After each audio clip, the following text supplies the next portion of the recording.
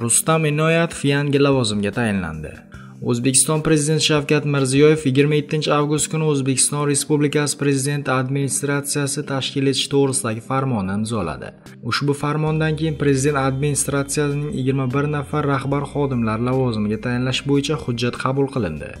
Unga ko'ra Rustam Inoyatov Rasulovich O'zbekiston Respublikasi Prezidentining islohotlarini huquqiy ta'minlash va huquqni muhofaza qilish faoliyatini muvofiqlashtirish masalalari bo'yicha davlat maslahatchisi lavozimidan ozod etildi.